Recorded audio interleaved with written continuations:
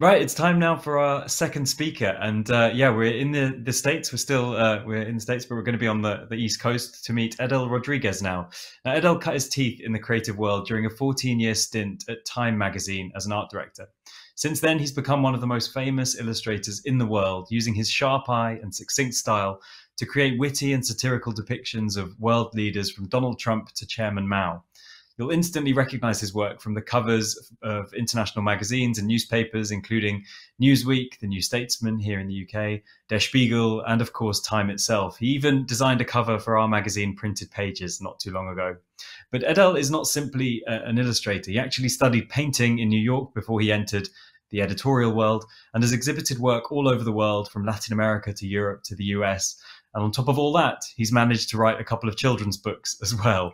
Um, yeah, quite an amazing career. I'm delighted to say that Edel is is joining us from from New Jersey, I believe. Um, is that right, Edel?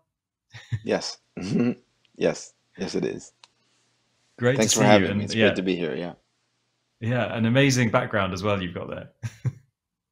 yeah, it's a painting, and I figured it's uh, it's better than my dirty, you know, messy studio well, you're putting me to shame with my, my boring white wall. But anyway, yeah. um, we've got uh, just just like with with our friends from T- Sharp Type. There, um, you're not going to be giving us a talk this evening. Instead, I get to ask you lots of questions, and again, our audience does as well. So just another reminder to everyone at home: if a question comes to mind, please do pop it in the chat, and um, I'll try to ask it before our time is up. But um, Edel, I guess to start with, I, I mentioned in the introduction that you studied painting, and then you went on to be an art director at Time Magazine. I guess just what what do you think working for such a kind of prestigious international publication taught you about imagery and, and the power of illustration in particular? Well, what what what it um, what it taught me is that it really um, how much impact it can have. You know, uh, when I started working at Time Magazine, I, my first job was basically entry level designer, and then I uh, started you know hanging out with the uh, cover um, uh, art director and and um, basically, you know, trying to uh, figure out what what makes a a strong, uh, sharp cover, and um, sometimes it's it literally comes down to cropping correctly. You know, something as basic as cropping uh, an image uh, the right way. Um, I learned that we we would do fifteen or twenty covers. It wasn't just one a one off thing. So you're you're constantly rethinking, trying another, and you're you're just going like that until the final deadline and it's this idea of, of that a cover is never quite finished until it's published. You know when it's published that's when it, that's when it counts. Um, so this idea of, of trying out um, um, a lot of uh, versions and and um, and also that that, that um, how a magazine cover of, of, that stature can affect the conversation you know? Um, it goes out to millions of people. It's perhaps seen by billions you know because it lands on television and stuff like that so I I do um, see magazine covers as as a uh, sort of a communication tool and um, and and setting a certain agenda of what to talk about and, and what what a country or um, you know in design world what designers talk about you know they, whatever's on the cover is is sort of like um, it's the big deal you know so uh, I, I I'm always aiming for the covers because I um, and you know book covers too because I really do think they have a, a lot of power um, by just being in front of people you know. Absolutely. I guess it's uh, worth saying as well that at time you're obviously handling photography. Some of those covers are very graphic. So it wasn't just illustration. I guess that's another kind of way that you were learning about the impact of imagery. Yeah, I, I think that what what I mean, and it humbles you as an artist because you you you're like I have a great you know artistic idea. I got I got a great graphic, a great painting, and then in comes the photo editor with an amazing photograph, right? And you just go, all right, I'm done. I I I, I lose this round and you have to kind of uh, be a a sort of a neutral judge and go, what is going to have the greater impact? What tells the story um, uh, in in the best way? Um, and uh, and also by working at Time Magazine, I learned uh, about the inner workings of of, of a magazine and and the, how illustrators sort of um, uh, market their work, uh, how they um, reach out to art directors, things like that. So even though I I, I went to I went studied at Pratt Institute, I studied painting, and, and I worked at the school newspaper there. I mean, I really you know it, that was my you know, a new school for me. I basically every day I was learning something new about being an illustrator and uh, and uh, being a communicator. Very very interesting. Um, I guess just to kind of yeah go through your career, do you have a sense of, of a big turning point um, in your illustration career? Was there one kind of commission that really changed things for you? Um, I guess I'm also I'm kind of talking about you know how you were perceived by others, but also how you kind of perceived yourself as an illustrator as well. Uh, you know, I think it's it's hard to think of one specific one because the, the, the what I try to tell other illustrators and even students that it is becoming an artist, becoming an illustrator is just very slow. You know, like little wins, little you achieve this, then you achieve the next little thing. So that's how it works. You know, you kind of do your your entry level thing, and then you you you progress to the next. But I'd say one of the biggest things for me was when I my work first started getting published in the New Yorker magazine, and that was pretty much about uh, you know I don't know like six months out of out of my university. I I took my portfolio there, and I didn't get any response. you know, I checked the portfolio to see if there was anything in there. Nothing. I I went uh, again. I dropped it off. Uh, actually, I sent something in the mail, and I I got it back two weeks later. You know, saying thanks for sending these, but we don't need them. Thank you. and then I went back again with my portfolio, and then uh, and then I got a call from uh, um, uh, Owen Phillips, who was an art director there, and gave me my first assignment for the New Yorker, which was to go to um, uh, uh, an art installation and draw it basically. And they were featuring the art installation and, and used it, used my drawing with it.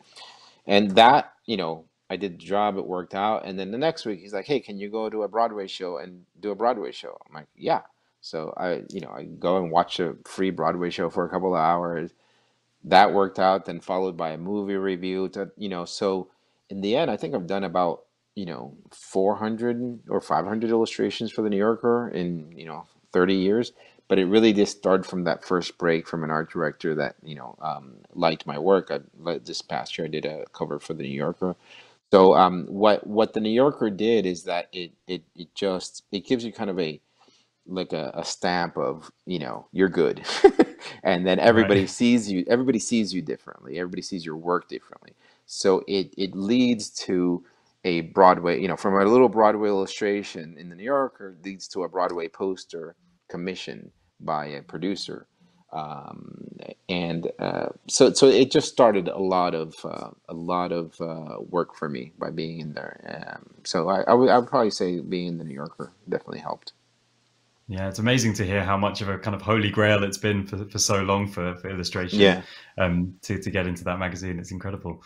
Um, but yeah, I definitely understand what you're saying about it kind of snowballing your career. It, it makes a lot of sense, and I think that's still how it how it works a lot of the time now.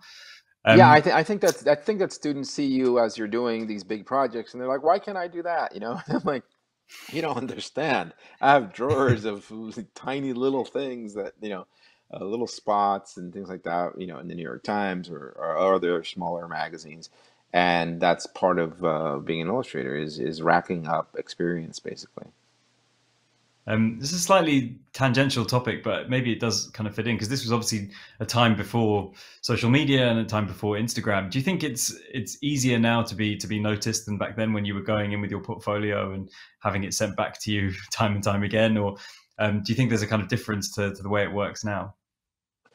Um, you know, I think it's um, it, it depends. You know, like it it is easier. You can, you know, I mean, I I know people um, that uh, my students get on on social media and they start tagging their work. Boom, boom. You know, it starts creating uh, work for them. But at the same time, the difficulty is that there are thousands upon thousands of people doing the same thing.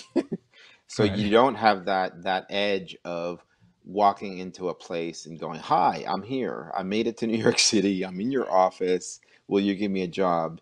And I think that um, when when you're in certain places, New York, London, you know, I'm sure Paris, other places like that, the people that are looking face that are meeting you face to face, they look at your portfolio, they they they they appreciate that you took the effort to come see them, and they're like, okay, let me see what I can do. I'll I'll call you next week. That personal connection, uh, um, I think is is is great. Uh, meeting someone at an opening or meeting someone at a at an industry event I think that um, always uh, helped me in, in one way or another.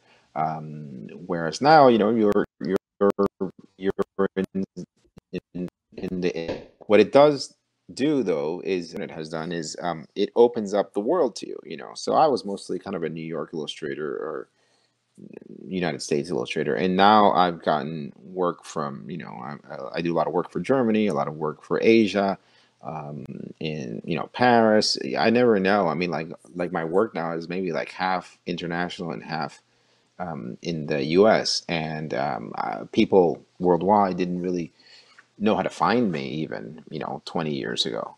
So I think that's definitely changed, uh, and um, I like it. I, so I, I like to travel places.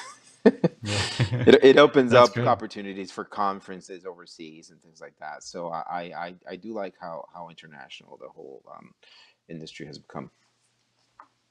And it just, I mean, I guess we're looking at a Der Spiegel cover here. Um, working in different in different countries, different languages is interesting as well because it presumably presents a new challenge as an illustrator that that you can't necessarily be pairing it up with a headline that you know what it's going to say. It has Yeah. to kind of speak without any text, or at least any text that you're going to necessarily be able to read or understand. Yeah, people's, uh, you know, I'm I'm often asked like what, you know, about the simplicity of my work. I mean, I do like simple work that's direct and communicates clearly. I've always liked working that way, but the the international aspect sort of like heightens it up even more. You know, I'm not just communicating to Americans when I'm doing a magazine cover. I'm communicating to people that don't speak English. So I have to to communicate with the with the image. There's no um, you know, there's no cartoon with the little thing. This is this is what this means. This is what that means. Um, I have to I have to condense it and and and have people in Brazil understand what I'm saying. People in in, in you know Germany, Japan, whatever.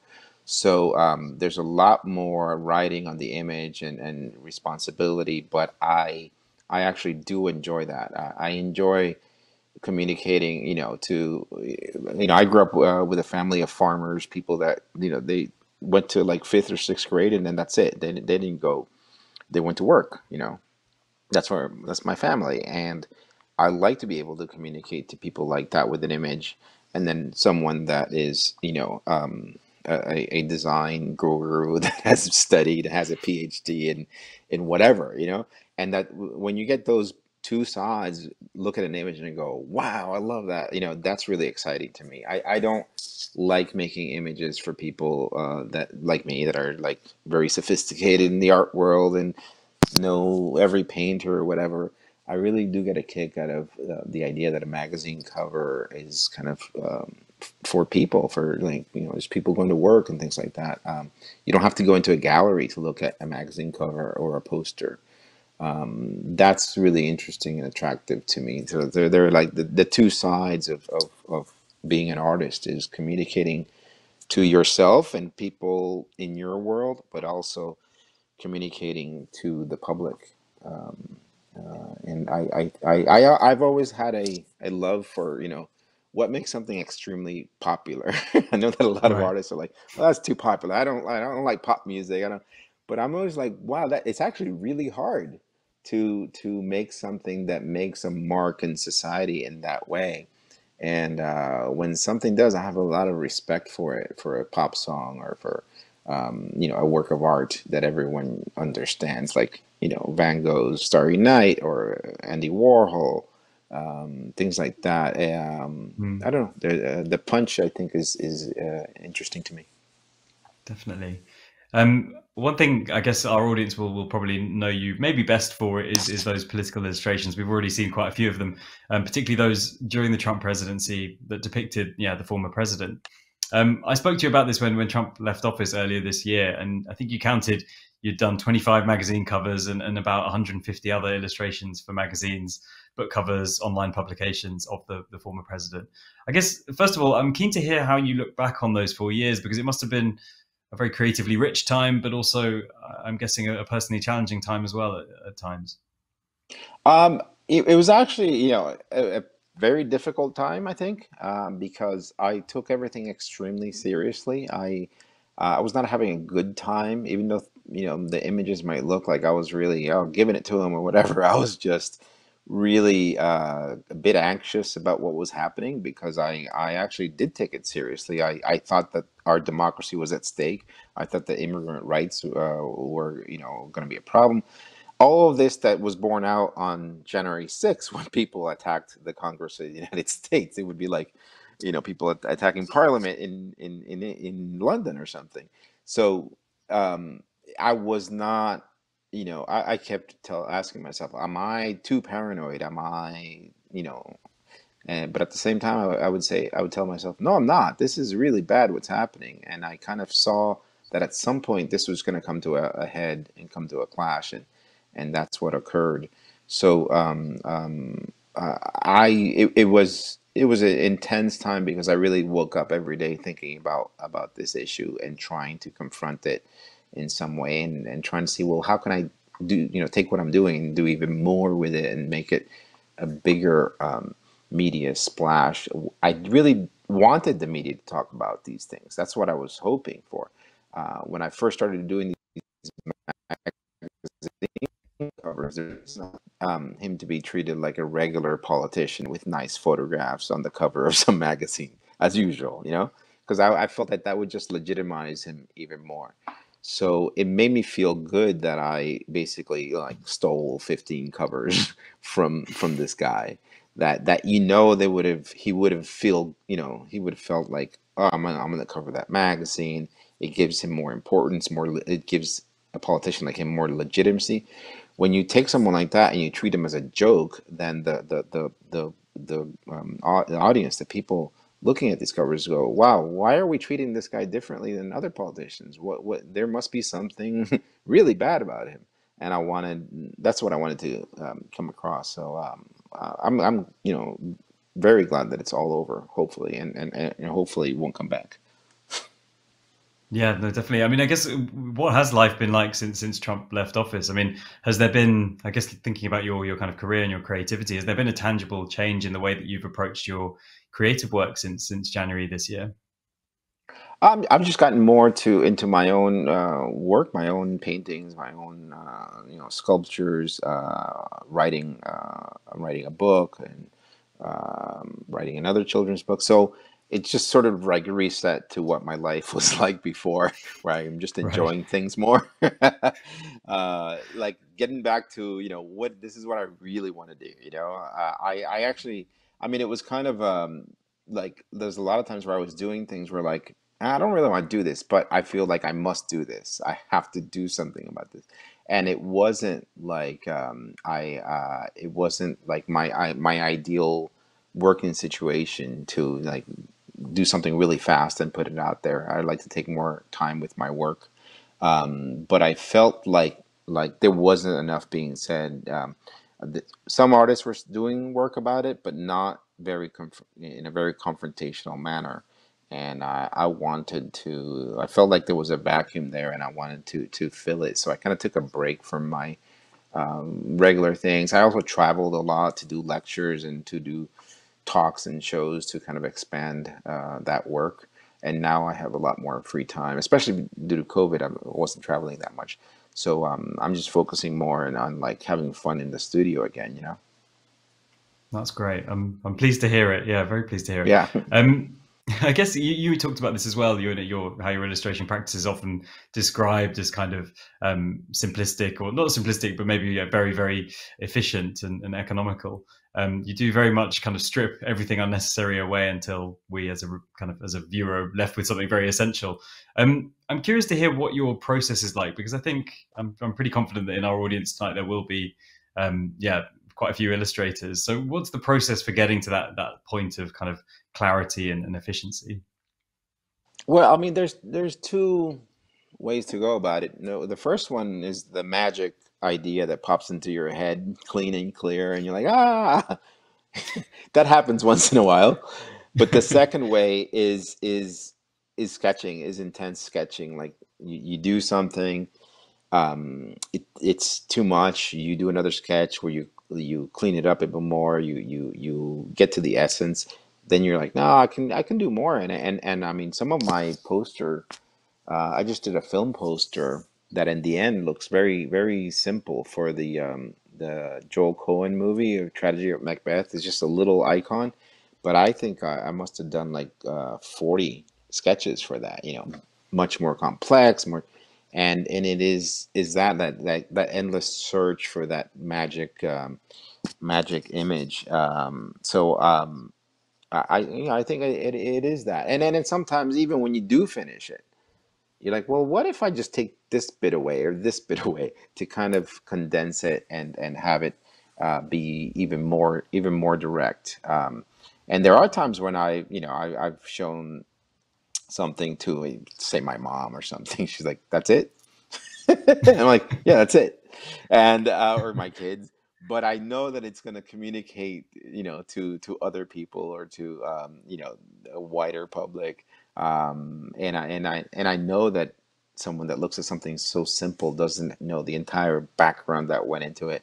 Um, but I I do think that that is um, it's, it's a way that I like to communicate in a very simple manner and, and, and kind of like get rid of excess uh, at times. I guess there's also a balance though, right? Because you can remove stuff too much and then you're left with something that doesn't have the legibility that you need it to have as an image. Is that right? Yeah, yeah. But, but if you ask yourself, why is this there? Or does this have to be there? And your answer is, yes, it has to be there, then it stays. If it doesn't, you know, if there's no purpose for it, and this is something that I try to teach to my uh, my students, you know, at SVA where I teach a class, I, I just ask, why is this here? And they're like, I don't know. I'm like, then take it out. You know, there, there, I, I want there should be a purpose to to what what's uh, what's in a picture. I mean, we can we can have things that are decorative, but then the whole thing has to have a decorative kind of vibe. Um, but if, if you're trying to communicate an idea, you know, whatever the image you're looking right now, and I and I put a lot of decoration in the background, you're going to lose that connection between the, the between two things. Um, and by adding too much decoration, you're just distracting the viewer into some other world on, on the concept. So. Interesting. Sorry, we just lost you for a second there, but I think I think you're back now, Edel. So all okay. good. Um, I'm sure you're very sick of talking about Trump. So only one more question on this, and then mm-hmm. we will move on. I promise.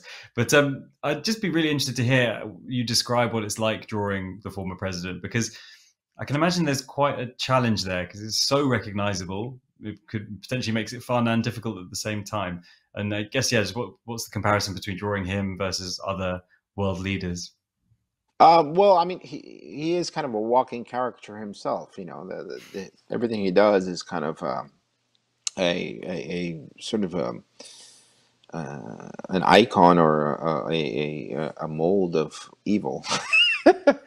so you kind of just go, okay, I'm just gonna. I I actually just show what I see. I don't really, ex- you know, I I, I would take just, oh, he did that. Okay, I'm enjoy it and and do a little riff on it, but it, it's not that far fetched. But in in terms of the, the likeness or the drawing of, of him is like I, I, just I wanted um, to uh, to just not really you know I didn't put any eyes on the guy because I, I didn't want them to I don't want you to have any connection to you. know Usually when you put eyes on people you have a connection or something. I just wanted it to be a stand-in for um, um, bad ideas and, and, and just a, a, a you know horrible sort of uh, um, personality and and I felt like if I just strip it down to to some of the basics, like you know this um, hood and tie, um, it, it, just has a lot more power than if I were to do oh he's so big and you know like I never made him huge and fat or anything. I don't get it. There's no joy in that. I don't. I don't. Nobody should be drawn fat unnecessarily. So um, I just um, went straight for the idea. I had I, I didn't want any have any beef with hair or or um, uh, how someone looks. It was more about what the person stood for. And if you look at most of my drawings, they were always about what he was doing or what he stood for and how dangerous it was. And that was my my main focus of it. Interesting. Yeah, it was wasn't focused on kind of yeah physical attributes in the same way. Um, no, and, and I actually saw drawings like I, I saw drawings like that during these times, and I'm like, why why are you going to go there? I mean, it just puts you sort of on the same level as as him in terms of being uh, over disgusting or whatever. And and uh, I think there are, you know, most of my work is just very. Uh, maybe that's why it hits or it connects. It's very serious, and it's very about what's what's at stake. It's not about just trashing someone. Definitely. Um, we've had a really interesting question come through from from the audience. Um, do you have a cover that was a mistake but came to be a blessing? So I guess a, a cover that you yeah, maybe weren't happy with. I guess is the is the subtext there. Uh, a cover that was oh. a mistake, but then came to be a blessing. Um, I mean, I don't know if it was a mistake, but uh, the blessing, you know, like the the the the um the cover of Trump beheading the Statue of Liberty started off somewhere else. It was an image that I had done, you know, uh, about uh, two years earlier. I had I had done an ISIS fighter cutting off, uh, cutting off his own own head because it was um, I was I was doing a similar campaign against ISIS and against what was going on in Syria. So um, I kind of just slapped something together. I took the old image and put the Trump head on it, and uh, just out of anger, and um, and then that took off, and it became you know this worldwide known image.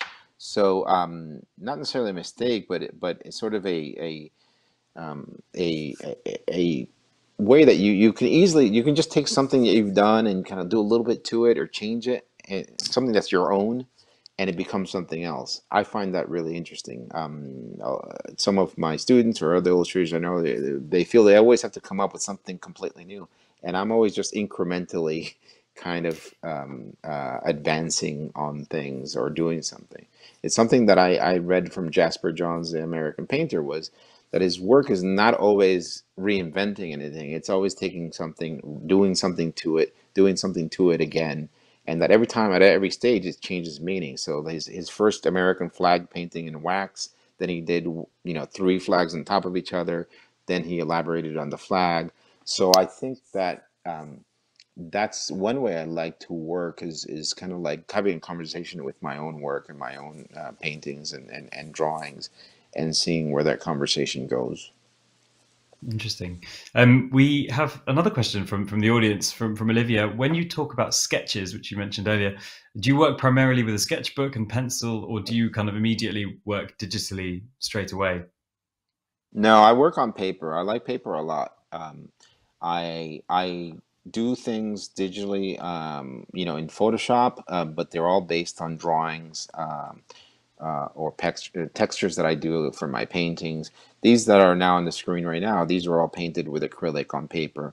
Uh, so I paint a lot. My work is about you know half half finished in in paint, and the other half may be finished uh, digitally. So all of my sketches are are pencil on paper. I I always just like real things around me. Um, they're just easy to flip through. You know, I can carry them with me. I don't trust the computer to you know i always think the computer is going to just suck everything and i don't i don't completely trust it. So i i love having things on paper. And the other thing about working in the real world or with real materials is that i'm always discovering something new that is not on the computer. So i you know for for a while i i had some cigar boxes in my studio. I started painting in the cigar boxes something which is not in photoshop um, another time I was drinking coffee and I'm like, well, if I, what if I start painting with this coffee instead of paint? And I did a whole series of drawings with coffee. You don't have coffee in Photoshop.